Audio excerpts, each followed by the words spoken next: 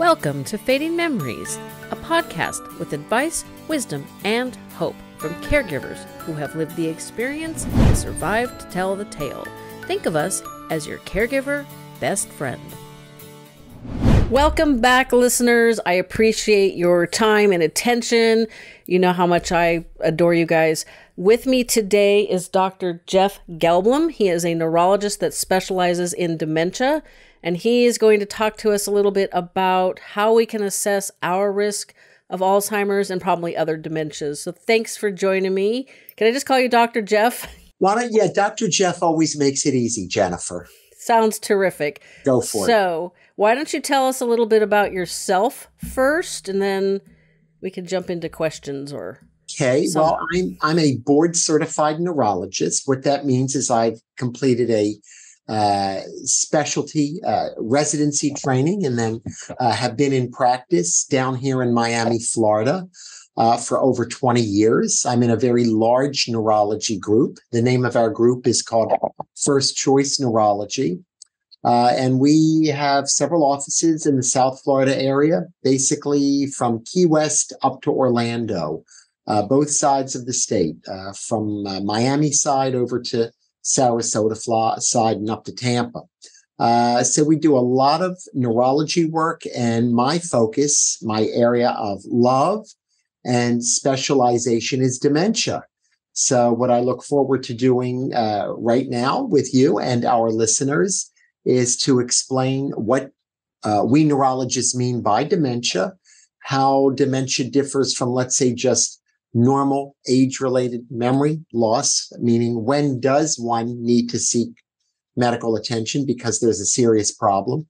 Uh, and then what we can do to treat the dementia. And for those of us who have loved ones or family members uh, who are suffering from this condition, how can we, uh, as caregivers and, uh, and, and friends and, and family members, how can we assess our own risks of dementia? And right now, We've got lots of tools, uh, lots of test uh, capability so that we can not only make a firm diagnosis of dementia, Alzheimer's disease in particular, uh, but also uh, do some pretty good testing with regard to further dementia risks. And what I'd like to do today is offer our listeners some helpful hints as to what you can do if you are at risk to help mitigate those risks. So ask away. We're going to have a very uh, informative and fun uh, discussion today.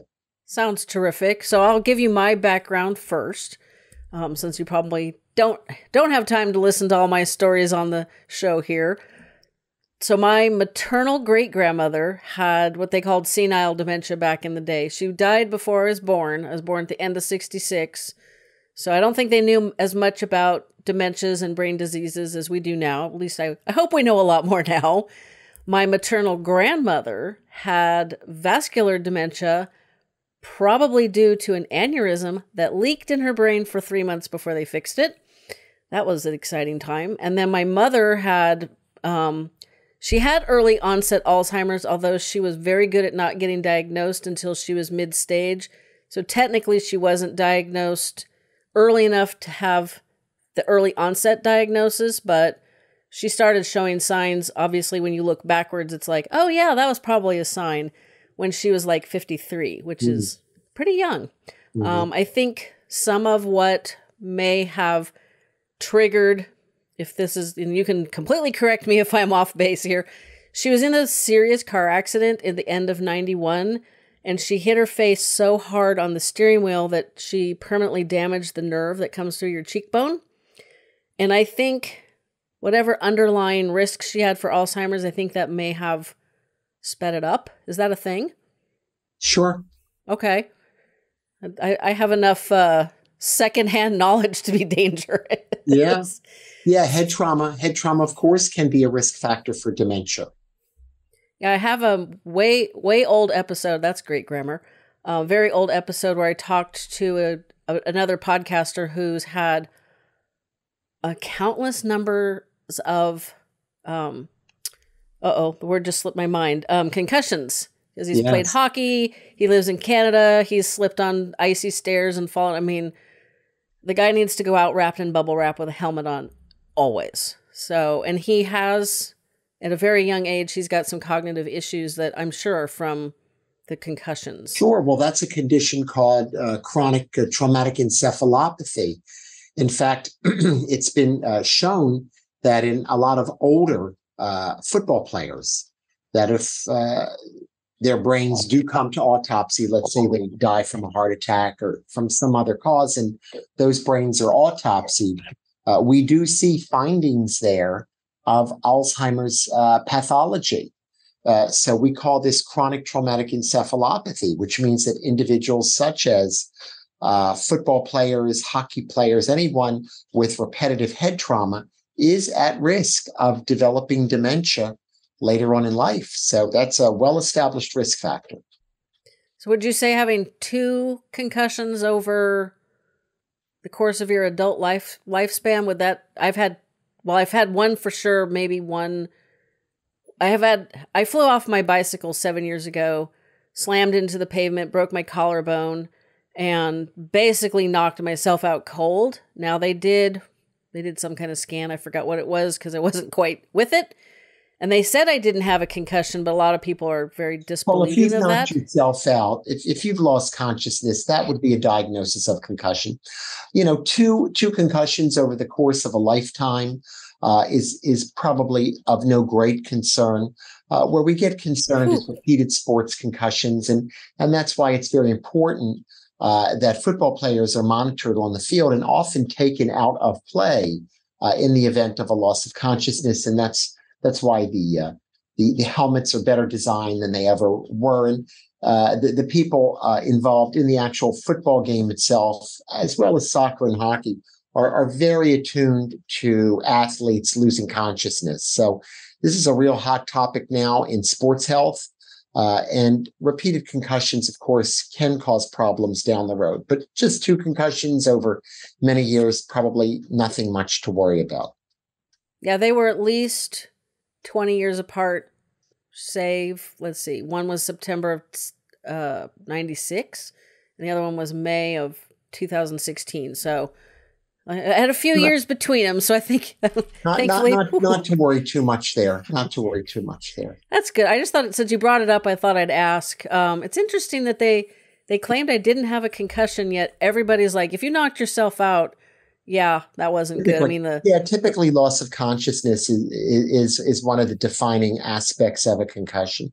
But what I'd like to do is is really remind our listeners about how we differentiate what we mean by dementia, because you and I now have used that term several times. Uh, dementia is a disorder. It's actually considered a disease. Uh, it's more commonly seen in older folks, but it can occur in younger folks. And by older folks, I mean individuals over age 65. But dementia, by definition, uh, means a problem of short term memory as well as a problem of functionality a heck of a lot different than just age related memory loss. So what I always say is, well, if I forgot to, if I forgot where I put my car keys, that's age related forgetfulness. But if I then find the keys and don't know what they're for, well, now that's a sign of dementia. So by functional loss, we mean problems with uh, getting lost, meaning problems of orientation, uh, problems of language. So short-term memory loss plus a language disturbance, that would constitute dementia. Short-term memory loss with disorientation, getting lost, that would constitute a dementia. Short-term memory loss with behavioral changes, that would constitute a dementia. Short-term memory loss with visuospatial problems, not recognizing something, that would constitute a dementia. Short-term memory loss with praxis difficulty, meaning inability to do customary activities such as uh, turning on the shower spigot uh, or washing dishes or eating with a knife and fork. We call those things praxis, practical things. Uh, that would be a dementia. So it's very important for our listeners, particularly older listeners, to say, hey, if you can't forget Aunt Mary's middle name, or you have difficulty when you walk into the grocery store remembering whether it was supposed to be milk and orange juice or milk and prune juice, uh, that's that's probably uh, just age-related forgetfulness. But if it comes into issues of navigating day in, day out through our activities of, of living, then at that point, that raises concern about dementia. And at that time, uh, medical uh, medical evaluation should be obtained because there's all different causes of dementia. In fact, you yourself mentioned vascular dementia. What is that? Not enough blood flowing to the brain. Alzheimer's dementia. What is that? Amyloid plaques and tangles in the brain. So different pathology altogether. And then you also mentioned head trauma, post traumatic dementia. So dementia is a catch all term for individuals who suffer from short term memory loss, as well as a decline in some domain of functionality. A far different scenario than age related forgetfulness, and certainly a situation that warrants medical evaluation and can typically be treated. Okay. Are they getting better at diagnosing? Because I'm sure you've heard them. Most of us have heard the stories about, you know, you you start having these forgetful uh, scenarios, and you go to the doctor. Maybe you go for your annual checkup, and you're like, "Hey, doc, I'm I'm having some problems with my memory," and you kind of get, "Oh, it's just normal aging, or it's just whatever. Oh, we all get like that, or the God forbid the doctor's like, oh, I forgot what I did yesterday myself. Yeah. We, we all hear those stories. And I'm wondering if now, you know, we've seen, I've been doing this podcast for six years. So there, I've seen a, a big change in a lot of things. Um, and I was, like I said earlier, my mom was very good at uh, avoiding the diagnostic process. So I'm not super familiar with how that works, surprisingly. I mean, I I have a general idea, but are they getting better at diagnosing? We are like absolutely if... getting better. And at this point in time, here we are, uh, May 25, 2023. Uh, we have marvelous tools to make a confirmed diagnosis of dementia and what type of dementia. So typically, what I always recommend, and I'm going to certainly reiterate this to all of our listeners today, is if you're over 65 and you go to the doctor for your annual physical, they should, as a matter of routine, perform something called a mini mental status exam, MMSE. It's a 30 point quiz. Uh, spell world backwards. Remember these three objects after five minutes. Draw two intersecting pentagons. Uh, give me your home address. Those are the types of quiz uh, items on the mini mental status exam.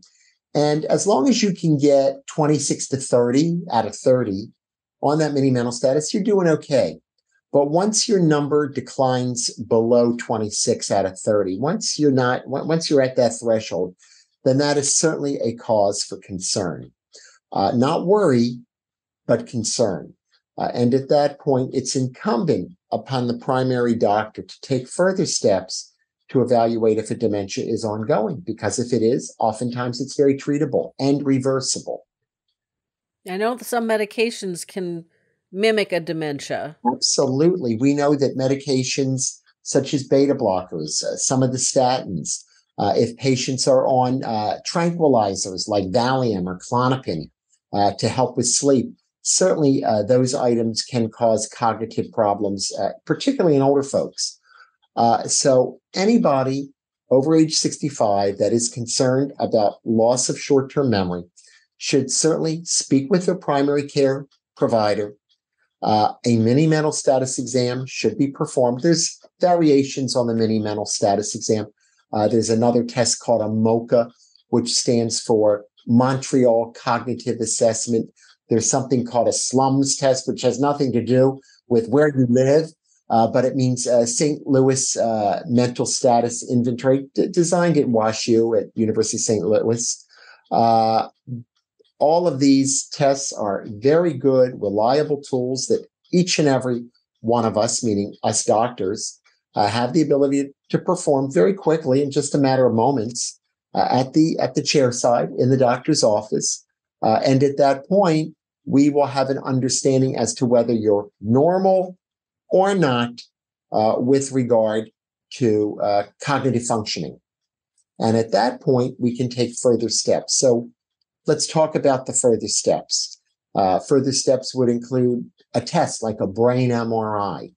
Brain MRI is a wonderful tool to look at. It gives us a picture of the brain. So it's a great way to see if there's been a stroke or if there's a tumor or if there's fluid on the brain. We call that hydrocephalus. Those are the types of things that we can treat very quickly. So very important to get that brain MRI. Uh, beyond that, uh, we neurologists have tools like an EEG, which is an electroencephalogram, a brainwave test where we put the little wires on the head like an EKG of the heart. Well, we neurologists use an EEG of the head.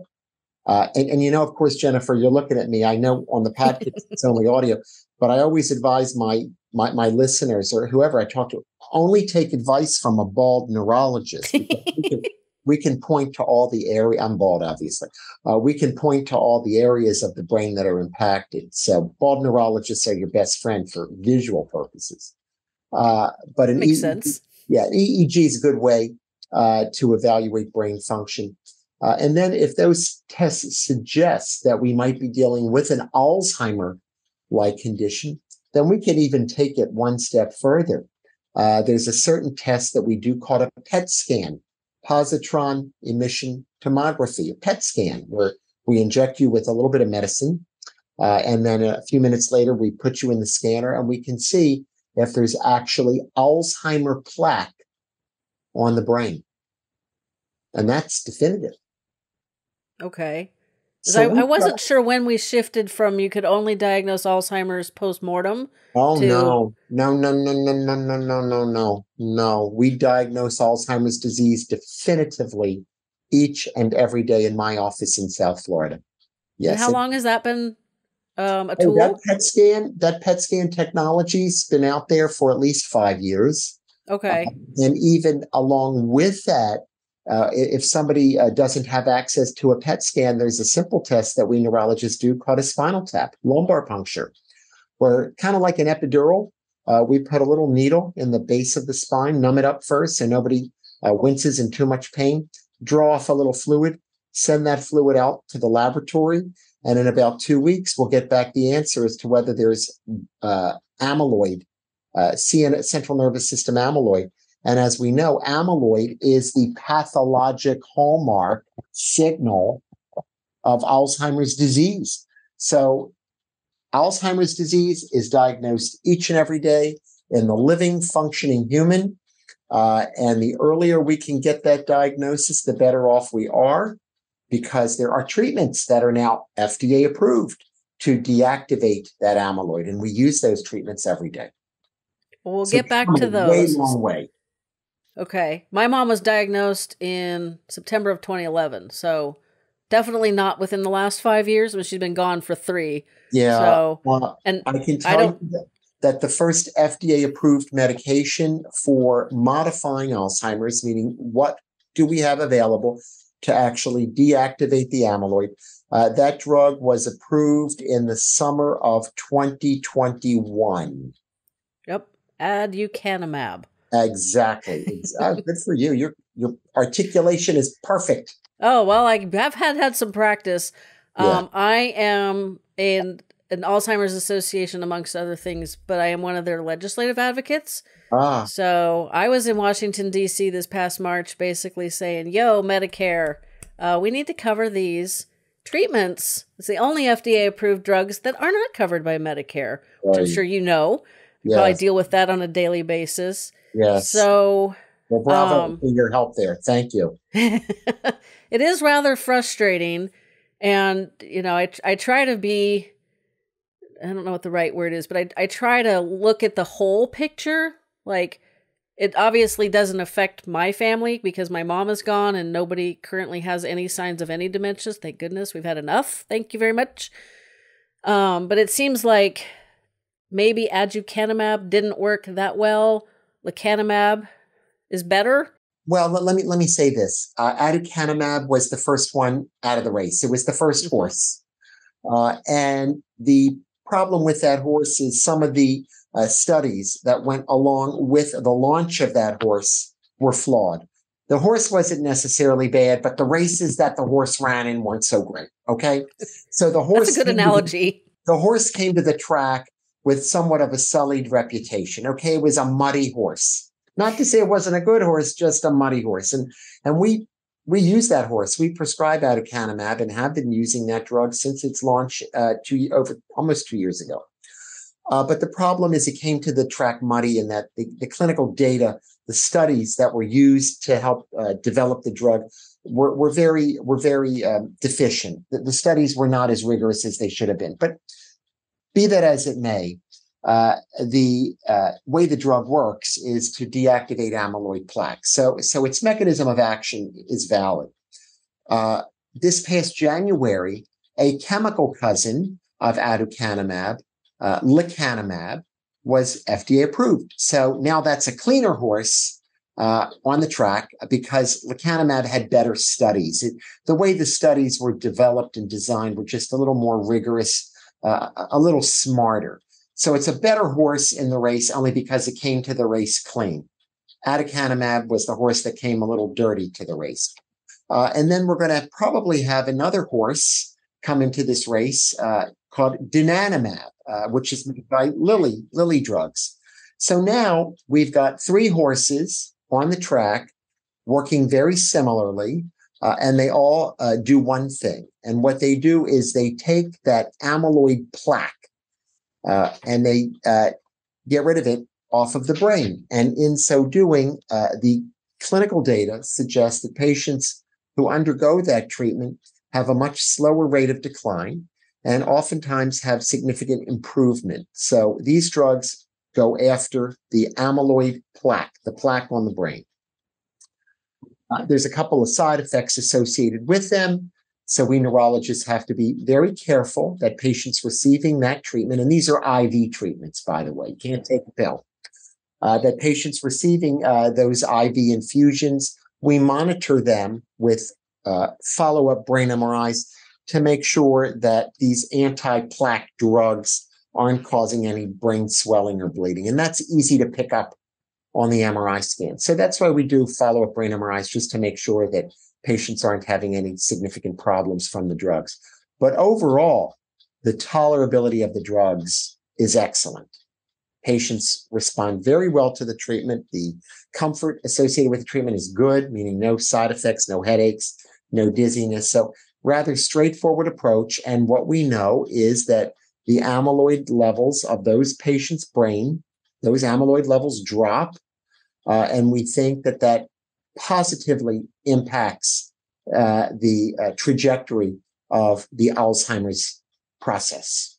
So that's where we are right now in May of 2023. It's a very it's a very opportune time because we've now got three drugs uh, that are available to us. Well, actually, two plus one coming out probably in September uh, that can allow us to deactivate the underlying cause of Alzheimer's. Now, remember, there's other forms of dementia besides Alzheimer's. So, you know, gonna, yeah, and, and those other forms require other treatments. But in addition to treating the underlying Alzheimer plaque, we can use other medications that help provide cognitive improvement. So drugs like donepezil, maybe you've heard of it. It's called Aricept. Uh, that comes in pill and patch form. Uh, so basically, that brings uh, that brings up levels of brain acetylcholine, which is responsible for memory. There's another drug that's FDA approved called Namenda, otherwise known as memantine, which helps lower levels of brain glutamate, which is an irritative neurochemical. So there's all sorts of strategies that we neurologists use to not only diagnose, but treat. So that's why getting back to your initial question is when should you seek help or ring the uh, ring the bell for help with regard to memory to your fading memory uh, that that that bell should be rung sooner rather than later because we've now got a lot of good interventions and there's a lot of things one can do you know, get, I mean, this sounds morbid, but getting affairs in order. We've got episodes where we talk about how um, this gal actually married her husband after his diagnosis of Parkinson's disease, and they basically planned how they would manage his care needs together while he was still able to do that. And they got to address their concerns and stuff. So there's a lot of things we can do if we don't put our head in the sand like my mother did. Now, well, interest I was going to say, I, I had a really I'm, quick question. Go ahead, because I want to Oh. weigh in more about what we can do. Okay. Well, Yeah. let's do that and then I'll get to my question. Now we're going to take a quick break for an ad. These ads help me continue to bring the show to you for free. When I learned that despite eating as healthy as possible, we can still have undernourished brains, I was frustrated. I also live in a farming community, so I'm aware that our food isn't grown as well as we need. Learning about NeuroReserve's Relevate and how it's formulated to fix this problem convinced me to give them a try. Now, I know many of you are skeptical, as was I. However, I know it's working because of one simple change my sweet tooth is gone. I didn't expect that, and it's not something other users have commented on, but here's some truth. My brain always wanted something sweet. Now, fruit usually did the trick, but not always. One bad night's sleep would fire up my sugar cravings so much they were almost impossible to ignore. You ever have your brain screaming for a donut? Well, for me, those days are gone. It's been about six months since I started taking the supplement, and I have no regrets. I believe in my results so much that I'm passing on my 15% discount to you. Try it for two or three months and see if you have a miraculous sweet tooth cure, or maybe just better focus and clarity. It's definitely worth a try. Now back to our conversation. So, what else can we do besides future planning? And that's always important. Uh, I'm a big advocate of what's called the MIND diet, M I N D, and I know you know about that.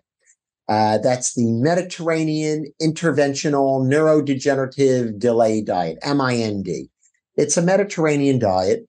Uh, and basically, it says stay away from processed foods, stay away from uh, a lot of red meat, stay away from uh, a lot of cheese and, and fatty foods. Stick with the olive oil, stick with the nuts, stick with the fish, stick with the lean poultry, uh, stick with the veggies. Uh, basically, whatever you would eat on on the uh, in, in the villages of Sicily uh, or southern Italy, that's what's on the diet. So it's a very Mediterranean influenced diet. Gets away from butter, uh, and it's been shown uh, that individuals who subscribe to that diet, MIND, the MIND diet, and all of our listeners can Google it and look it up, uh, that those those individuals have a better prognosis with regard to dementia. Uh, we also know that on a daily basis, 30 minutes of exercise, uh, brisk walking. You don't have to go to the gym. You don't have to do squats or push ups or pull ups or buy a Peloton bike. Oh, All I you- have a Peloton. well, uh, I, I hope it's not serving as a planter or you're you're drying out your underwear on it right now. nope. If you use it, that's good. Uh, but what we know is 30 minutes of exercise, brisk exercise, walking, something as simple as outdoor walking quickly, uh, is enough to stimulate the cardiac output, uh, get the blood oxygen going. And that has also uh, been shown to delay the uh, consequences of dementia. So, those two simple things Mediterranean diet, daily brisk walking for 30 minutes, those two simple things uh, have been shown in the medical literature to positively impact uh, dementia. So those are the first two things that I I'm going to recommend that right now to everybody, regardless of whether you're at risk for Alzheimer's or not. It definitely is. It helps aid the aging process, helps Yes. you age better. Yes, it sure Um, does. But yeah, I know I use my Peloton almost every day. And I have a golden retriever, so we do walk a lot too. There you go. Or, or the dog walks you. You walk the dog, or the dog walks you. Um, she's pretty good about uh shared walking. We had another golden until this past February. You got you opened the door, man. That dog power walked up the hill. Yeah. Heel was not a thing. Slow down was not a thing. uh, walking him was not. retrievers, retrievers will keep you in shape. That's for sure. That is true. Well, she's uh, very food motivated, and so, but she likes her carrots and she likes everything. Good. So she, you don't have to just feed her Well, in my office, I have Scooter here. I'll show you. Our our listeners can't hear. Oh, Scooter's in the corner. He's in his little bed. Scooter's our neurology service dog. He's been with us for 14 years. He's 15. He's a shelter dog. Uh, and he comes to work every day and he helps with our patients and he goes from room to room and uh, he comforts them and they enjoy seeing him. So it's a real it's a real good uh, reciprocal uh, situation there. Yeah, I take my girly to the senior center when I go. I teach a class there, and I'm always hesitant because obviously golden retrievers are much bigger than Scooter, and you know not everybody is enamored of bigger dogs. They some people have a fear, although I don't know how you could ever be afraid of a golden retriever. But man, she I, I'm wondering how long I can use the excuse of she lost her younger brother earlier this year to take her all kinds of places. I'm yeah. I'm one of those ladies that would I it was she would be a purse dog if she didn't weigh over seventy pounds. Right. Well, Scooter's pretty good. He's about twelve pounds, and he comes to work every day. And it's really funny, Jennifer, because uh, patients when they come into the office, they don't even ask if the doctor is in. They say, "Where's Scooter? Uh, can I pet Scooter?" So Scooter, Scooter is the best employee we've got in the whole office because he keeps everybody nice and calm. I say if you got high blood pressure after petting Scooter, you got a problem. exactly.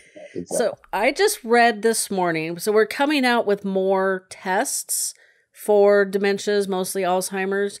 And one of the uses of the tests, and I don't remember which one it was, you'll probably have to fill that part in, is testing for the um the brain bleeds and the st- the the rare side effect that you can get from the two drugs yes. that are yeah. treatments. Yeah, I, I, spent a moment talking about that. So let me circle back and and and uh, reiterate uh, the, the new drugs that you've mentioned, that I've mentioned, aducanumab, lecanemab, donanemab, those drugs that basically scrub away the amyloid plaque off the brain, which is what's mucking up the works and causing trouble.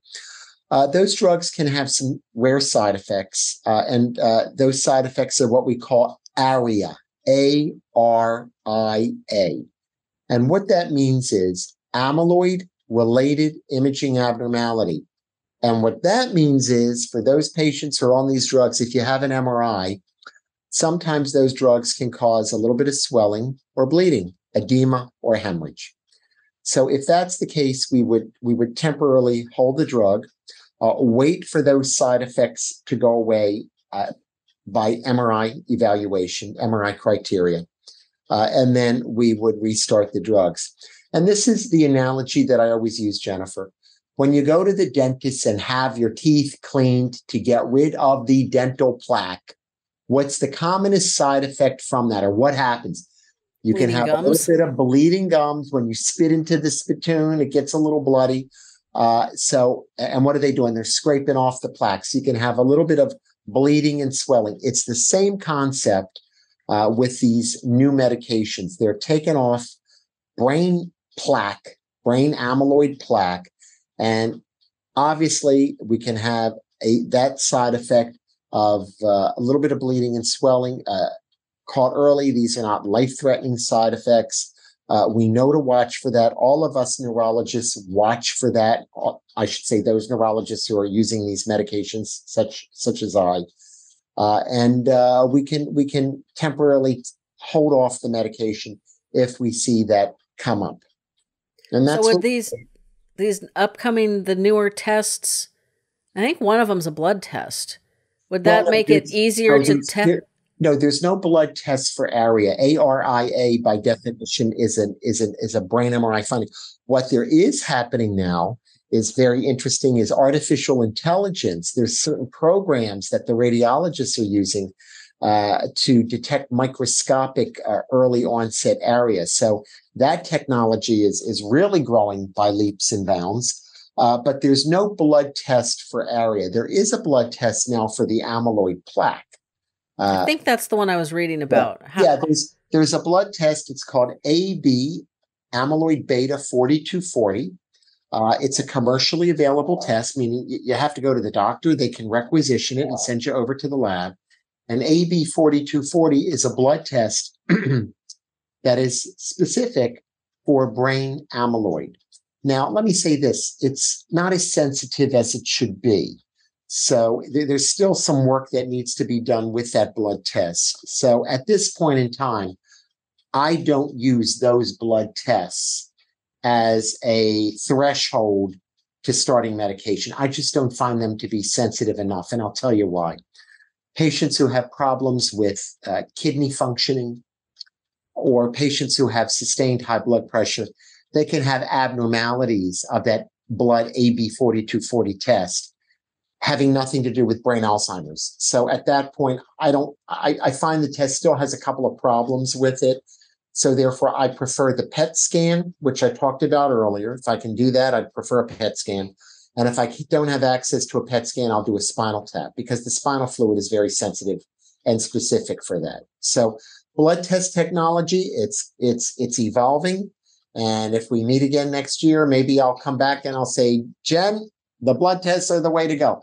But as it stands right now in May of 2023, I can't say that. Okay, that's good to know. So we've been talking about assessing your well, we have the whole topic was assessing your risk of Alzheimer's. We've talked about all this other stuff which is very helpful and very fascinating. But what are the main risk factors associated with Alzheimer's disease? And I'm going to qualify that with you would love have loved my mom's diet. So my mom, my parents ate Wonder Bread, bologna, American cheese. Um, you know, my mom drank two liters of Diet Coke every day. well, I don't eat like that. The, that's not part of the Mediterranean diet. That's the Schmediterranean diet. So we're not going to talk about the Schmediterranean diet. We're going to talk about the Mediterranean. But, you know, look, back in the day, they, they didn't know the things that we know now. And, you know, that was, that was then. Uh, so, you know, God bless Cheez Whiz and Oscar Mayer bologna and Wonder Bread, all of those things. Okay. I ate them when I was a little kid, and here I am, and I drank out of the hose in the backyard, and we didn't know from bicycle helmets either. Okay. So we managed to survive. But we now know a lot more things today. Uh, and we do know, of course, that the incidence of Alzheimer's, of dementia is rising, probably as a consequence of, of people living longer. Uh, but inescapably, uh, the Mediterranean diet is the way to go, particularly if you have a family history. Now, you know, if you're if you're 18 to 25 years of age, no family history, go have your hot dogs to your heart's content and throw on extra mustard and pickles for me. Okay, go enjoy yourself. Uh, but if there is a family history of diet, the earlier uh, that you can get started on this Mediterranean program, probably the better off you are. Uh, so let's talk about what are the risk factors for Alzheimer's disease. That's real important. Family history is probably the most important risk factor of all. Uh, we know that in many respects, Alzheimer's disease is hereditary. Uh, now, you've got different forms of dementia in your family, so I'm just not sure how strong the hereditary is in your particular case, because vascular dementia and Alzheimer's dementia, two different birds. So one has nothing to do with the other. Uh, head trauma, for example, or chronic illness that can cause dementia. So what we know is that Alzheimer's is hereditary. There are many genes that contribute to the development of Alzheimer's disease. Now, the commonest gene that we hear about is ApoE3, ApoE4. So if right now I were to go and get one of those 23andMe uh, tests for Alzheimer risk, it's only going to look at two things ApoE3, ApoE4. People who are double carriers of ApoE4 are at highest risk. And people who are double carriers of ApoE3 are at lowest risk. So that's the spectrum. And I'm showing you with my hands. Hopefully our, our pod listeners will be able to, to visualize it. But on the left is ApoE3, minimal risk. On the right is ApoE4, maximal risk, double carriers. But there's a whole lot of combinations in the middle. And ApoE3 and ApoE4 don't tell the entire story because we know that lots of folks who have ApoE4 double carriers don't get Alzheimer's. And we know that lots of folks, ApoE3, double carriers, supposedly no risk, do get Alzheimer's. So we know that those are imperfect screening tools for Alzheimer risk. And that's why for those of us who want to get a 23andMe, please don't send me one for Father's Day. I don't need to know about these things because oftentimes they're misleading. So I'm not a big advocate of 23andMe tests, you know, unless you've got to know something about someone. There's probably better a better way of evaluating your risk, and, and that's something called a Geno score. there is a, a new uh, saliva based test that is available in the doctor's office. Uh, the technology was actually uh, developed over in the UK, uh, uh, United Kingdom. Uh, and what it is, it relies upon a saliva sample. Uh, and with that simple saliva test, it's sent off to the laboratory. And about four weeks later, you will receive what's called your Geno score which is on a continuum of zero to one. One maximal risk, zero minimal risk. But what's unique about this Geno score is it's not just looking at two genes, ApoE3 and ApoE4. It's actually looking at over 100,000 genes. Lordy, I didn't know we had that many. that, that, that can contribute to the development of uh, age related dementia age late late age dementia. So it's a very important tool that we use in our office. And what I'll typically do is when I see a patient for Alzheimer's disease, if they're accompanied by their child or even grandchild, I'll say, look, it, it looks like grandma, you know, has mild Alzheimer's. So we're going to start to treat that. But also because she's got this and there may be a family history, is that something you would be interested in? So that's the question that I pose to the caregiver. If it's a family member, uh, typically a son, a daughter, grandchild, whatever, uh, that if you're bringing in a, a senior relative to the doctor, and that senior relative has a diagnosis of Alzheimer's disease, this GenoScore test can now give you a great idea as to what your risks are. So if you say, oh my gosh, what happens if I come out at higher risk? Well, at that point, that's when you got to start the mind diet, the daily walking, all of those things. And then we neurologists would keep an eye on you as time goes on. And if you start to manifest any of these signs or symptoms of an early dementia, we'll go in and treat because the earlier we can catch, catch uh, this condition, the better off the prognosis. So that's where we are. The Geno score is an amazing tool, and we use it now very frequently in our office to help those family members who are concerned about their uh, relative risk of developing Alzheimer's later on in life. And that's currently not re- readily available everywhere. So, would it be beneficial if I put your contact in the show notes if people Absolutely. were interested? Uh, in fact, we've we've got a uh, my my website, or I should say, our group website is fcneurology.net, as in firstchoiceneurology.net, but it's fcneurology.net. But we've got a great program, a chat program called neuro2go.com. So if you I like it, if you would, if you would put that in your uh, podcast, I, would be very grateful. Neuro2go, N-E-U-R-O number two go.com. And with that, anybody from anywhere in the world uh, can spend uh, time with me or one of my board certified colleagues. Uh, we can really discuss any aspect of dementia or any other neurological condition that is of concern. And if that individual wants to uh, have access to that um, Geno score test, we can send it out to them because that test is only available through a doctor. Unfortunately, you can't go to Walgreens or CVS or Walmart and, and buy the test. And it takes about four weeks to come back. The test results go to a laboratory, and that laboratory does its sophisticated testing to identify and put together these 100,000 different gene products that contribute to the overall Alzheimer risk. And, and then we circle back with that uh, individual and we discuss what that, what that Geno score number means and what we can do to intervene and mitigate the risk of dementia later on in life. That sounds wonderful, and I know a lot of people are like, "I don't want to know," but you've laid out reasons well, why. No, no, we you, should. You do, you, you do want to know, Jennifer, because there's a lot of things that you can do right now, right now, and and the data that I'm sharing with all of our listeners today is that between the mind diet and this significant exercise of just 30 minutes a day, that does mitigate the risk. And this is not just hocus pocus or feel good medicine. This is this is supported by numerous uh, numerous uh, reports in the medical literature. I've said a lot. I don't really think modern life, or the way our modern life is structured these days, is all that healthy for our brains. You know, we've got air pollution, stress, you know, not necessarily the best water. People are, they don't exercise, they don't get good sleep. all these things are very bad for us. Is is am I on am I on track like modern life? We got to learn how to well, disconnect and all that good stuff. Well, I, I look things have things have been tough all over for many years. I mean, if you slept, if your bed was next to the Pompeii volcano years ago, well, you didn't have a very good quality of life then because the second that volcano erupted, poof, that was the end. So, you know, yeah, modern modern life is stressful, but I think life has always been stressful.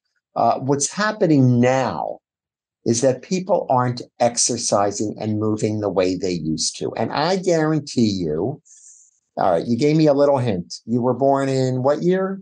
You 1966. All right, so 66. So you're you're you're the uh, tail end of the baby boomers. But I guarantee you, your mom walked a lot, and your grandmother was out there on a Saturday beating the rugs on the on the line, and she probably walked to a lot of places.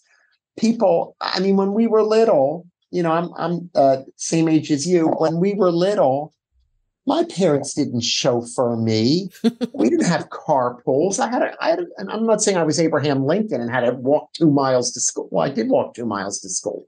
Yes. What did Abe walk? Maybe 15 miles. But you know, we were on our bikes. I mean, I on on a Saturday, which was my mother's cleaning day.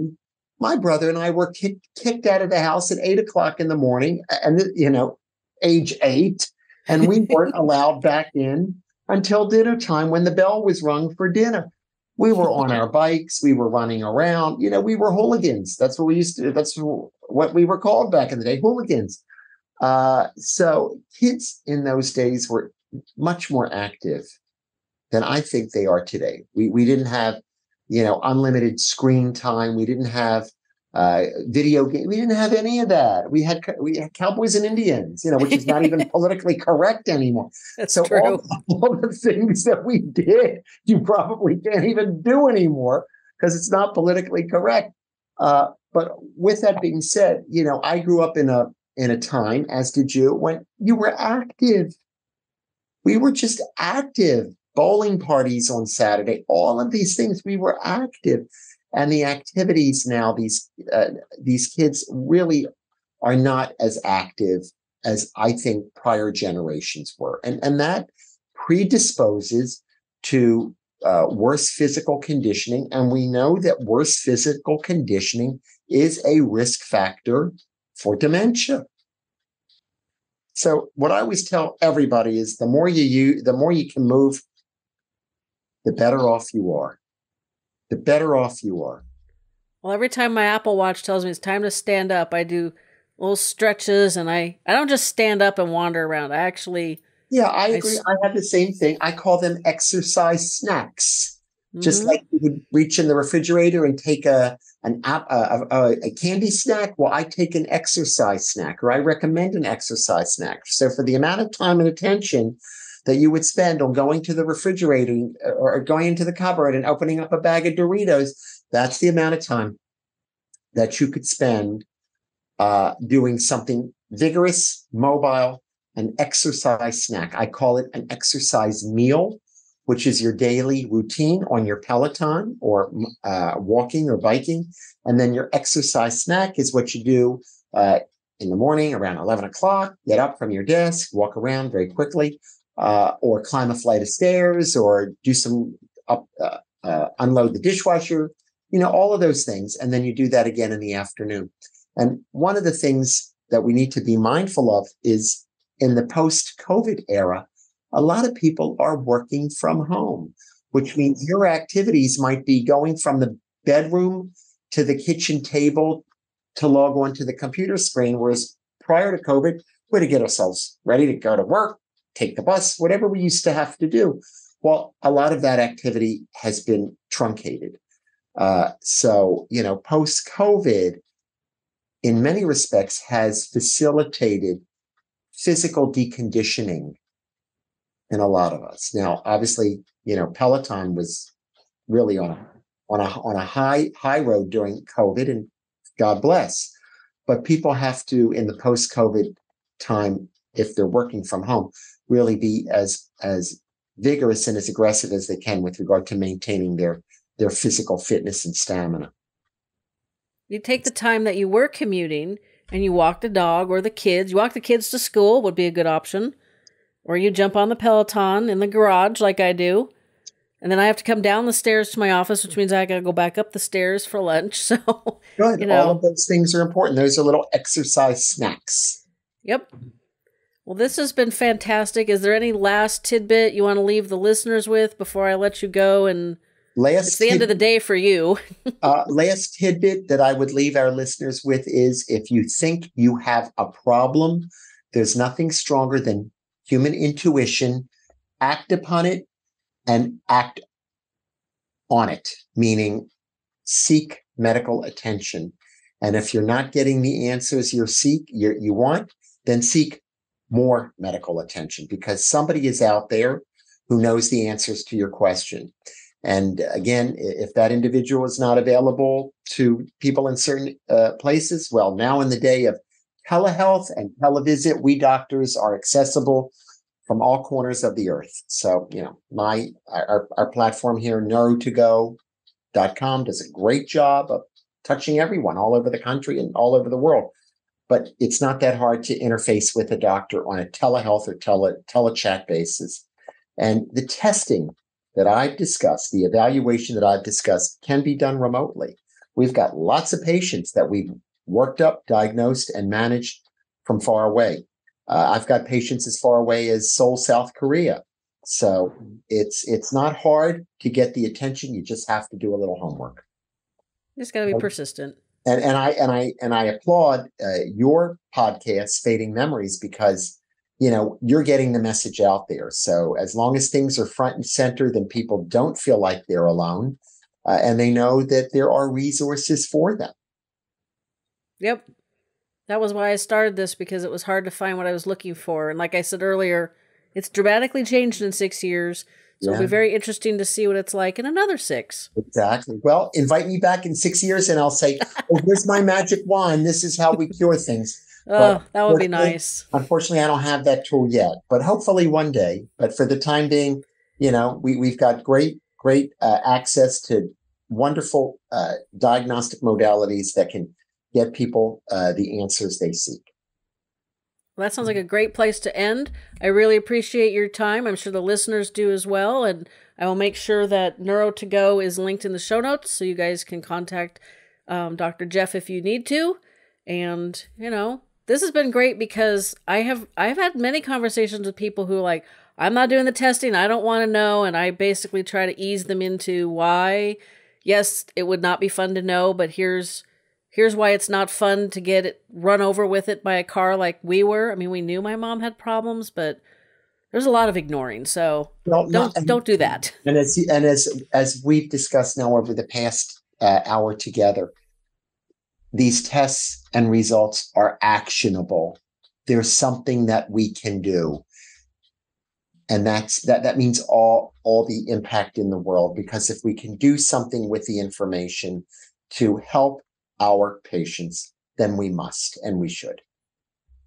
Awesome. Well, thank you very much. Thank you, Jen. And hopefully we can come back in another year or so and like you said, have a whole different conversation because things have changed so much. Would love to, and thanks for your time today. I really appreciate it. You're welcome. Have a have a great afternoon. Fading Memories is also available wherever you get your podcasts.